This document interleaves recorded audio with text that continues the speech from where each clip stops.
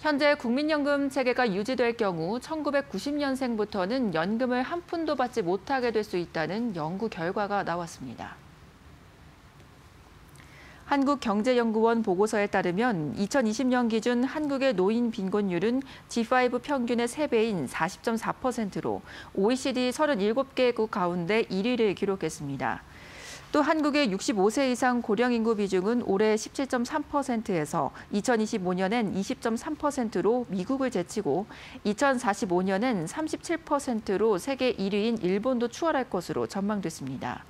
한경연은 현재 국민연금 체계를 유지할 경우 2055년에 국민연금 수령 자격이 생기는 1990년생부터 국민연금을 한 푼도 받지 못하게 될 수 있고 현 체제로 지급하려면 보험료율 급등으로 미래 세대가 과도한 부담을 떠안아야 한다고 지적했습니다.